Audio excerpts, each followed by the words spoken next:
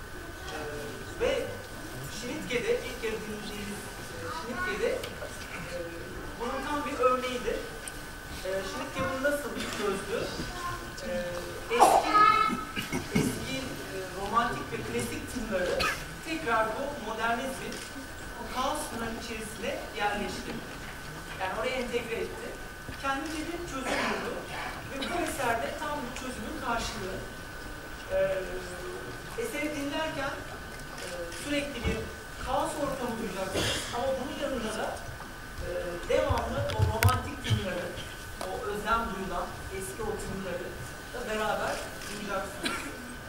İkinci yarıda da e, iki e, prelude seslendirecek. Bunlardan birincisi Tristan ve Isolde, e, ikincisi de Marseille Birinci prelude yine müzik tarihinin, yani Avrupa müziğinin e, en ciddi kırılmalarından birisidir. Demin anlattığım e, postmodernizmin, e, modernizmin e, en temel dayanaklarından birisidir. 1859 yıllarında yazılmıştır.